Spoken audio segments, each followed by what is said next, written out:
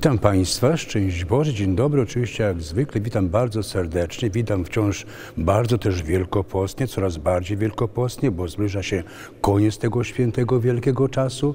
Witam proszę Państwa też wiosennie, tak proszę zauważyć, dzisiaj jest 21 marca, oznacza to, że zakończyła się zima, bardzo sroga zima, bardzo mroźna, bardzo śnieżna zima, Bogu dzięki za nią, prawda, bo dawno już tego rodzaju atmosfery żeśmy nie doświadczali i wchodzimy w nowy okres, wchodzimy w nową porę roku, czyli wiosnę.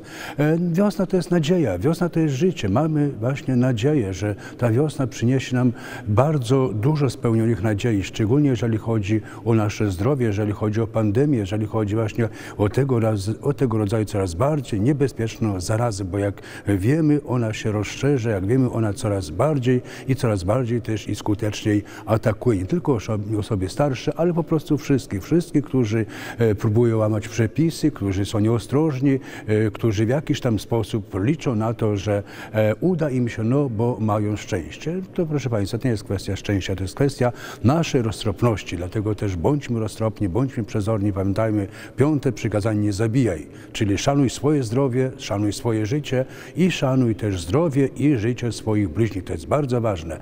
Jeżeli łamiemy przepisy, jeżeli te przepisy pandemiczne są przez nas traktowane, jak to się per nogam, wtedy popełniamy grzech, czyli łamiemy piąte, e, piąte przykazanie. Kochani, żeście na pewno zauważyli, że jesteśmy w nowej, że tak powiem, odsłonie takiej zewnętrznej, mianowicie jesteśmy w Kościele Bożego Ciała, w parafii Bożego Ciała Ojców Franciszkanów.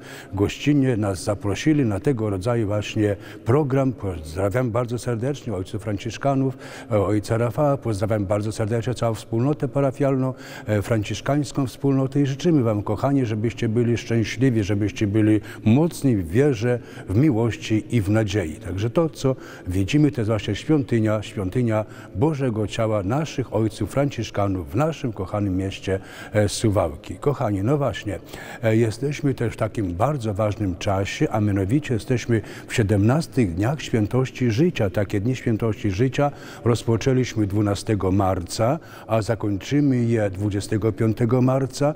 E, zakończymy takim bardzo mocnym akcentem, bo jak wiemy 25 marca to jest e, święto kościelne, święto zwiastowania pańskiego. Właśnie jest to też Dzień Świętości Życia. E, w tych dniach, a szczególnie 25 marca, będziemy modlili się o poszanowanie tego życia ludzkiego w ogóle. Od poczęcia aż do naturalnej śmierci. Modlimy się do Matki Bożej, Matki Pięknej Miłości, Matki Bolesnej, Matki, która jest obecna na drodze krzyżowej, która jest obecna obok Chrystusa, swojego Syna cierpiącego, żeby ona uczyła nas tego właśnie szacunku, tej dojrzałości i tej roztropności i tej także odpowiedzialności. Dlatego też właśnie te dni świętości życia niechaj bardzo głęboko nam zapadną w serce. Jeżeli chodzi o program, to w każdym kościele, w gablocie jest właśnie informacja, gdzie poszczególne nabożeństwa i na czym one, na czym one polegają. Warto też, proszę Państwa, zauważyć, że w obecnym czasie e, obchodzimy stulecie urodzin sługi Bożego księdza Franciszka Blachnickiego. To właśnie ten, który założył te słynne oazy, tak jak krótko nazywamy. Dlatego też jest okazja do tego, żeby pomóc pomodlić się, pomodlić się w intencji księdza Franciszka Blachnickiego, żeby jak najszybciej został wyniesiony na ołtarze, który tak wiele zrobił dla Kościoła w Polsce, szczególnie wtedy, kiedy ten Kościół był prześladowany, kiedy ten Kościół był ciemiężony e, przez, przez władze komunistyczne. On stawiał opór, on był silny, on był pełen wiary, on był pełen miłości do Chrystusa i dla Niego robił wszystko, ze względu na Niego robił wszystko, poświęcał swoje zdrowie, a prawdopodobnie też poświęcił, poświęcił swoje życie. Kochani, Dzisiejsza, dzisiejsza niedziela jest to piąta niedziela Wielkiego Postu, przedostatnia niedziela tego świętego czasu e, i gdy będziemy, bądź też gdy byliśmy w kościele, to usłyszymy, ewentualnie usłyszeliśmy słowa Ewangelii według świętego Jana. Jak zwykle bardzo proszę o wysłuchanie tych z szacunkiem. Wśród tych, którzy przybyli, aby oddać pokłon Bogu w czasie święta, byli też niektórzy Grecy. Oni więc przystąpili do Filipa pochodzącego z Becajdy Galilejskiej i prosili go mówiąc, Panie, chcemy ujrzeć Jezusa. Chrystusa. Filip powiedział i poszedł Andrzejowi, z kolei Andrzej i Filip poszli i powiedzieli Jezusowi.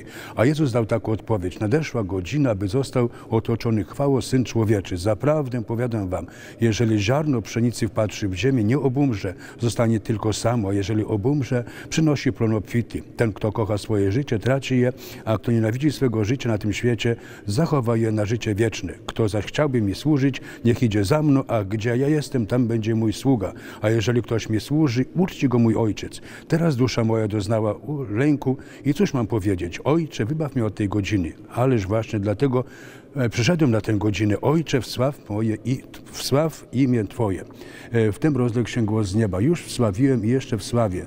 Stojący tłum to usłyszał i mówił, zagrzmiało. Inni mówili, anioł przemówił do niego. Na to rzekł Jezus. Głos ten rozległ się nie ze względu na mnie, ale ze względu na was. Teraz odbywa się nad tym światem sąd. Teraz władca tego świata zostanie wyrzucony precz, a jak gdy zostanę nad ziemię wywyższony, przyciągnę wszystkich do siebie. To mówił, zaznaczając, jako śmiercią miał umrzeć. Kochani drodzy telewidzowie, e, drodzy Państwo, a się tutaj widzimy Chrystusa, który siebie porównuje do ziarna pszenicznego. Wiemy o tym, znamy się na tym, zwłaszcza rolnicy e, wiedzą o tym, że ziarno, jeżeli się wrzuca w ziemię, żeby ono wzeszło, żeby rosło i żeby zaowocowało, ono musi obumrzeć. Wtedy ono przynosi plon obfity. Jeżeli nie obumrze, oczywiście tego plonu nie może się, nie może się spodziewać Chrystus, jak to ziarno pszeniczne. On zostanie wrzucony w ziemię, on zostanie ukrzyżowany, on zostanie zamęczony, on umrze na krzyżu po to, żeby poprzez tę swoją śmierć zaowocować, zaowocować naszym zbawieniem, żeby to zbawienie, które On wysłuży poprzez to obumarcie, e, było naszym udziałem w swoim czasie, żebyśmy byli zbawieni dzięki Niemu i przez Niego, ale także dzięki nam, bo pamiętajmy, krzyż wystawiony na Golgocie nikogo nie zbawi, jeżeli każdy go w swoim sercu nie wystawi. Niech właśnie ten krzyż, krzyż Chrystusowy, e, krzyż e, męki pańskiej, krzyż znak zbawienia, niech towarzyszy nam przez te ostatnie dni Wielkiego Postu. Te dni, które właśnie mówią już o tym, że do świąt wielkanocnych coraz bliżej. Kochani, módlmy się, módlmy się do Chrystusa i wołajmy do Niego, który za nas cierpiał rany. Jezu Chryste, zmiłuj się nad nami, zmiłuj się nad nami, zmiłuj się nad nami. Dziękuję bardzo, pozdrawiam serdecznie, wszystkiego najlepszego na nowy, wielkopostny, rozpoczynający się tydzień. Tydzień oczywiście już wiosenny. Zostańcie z Bogiem.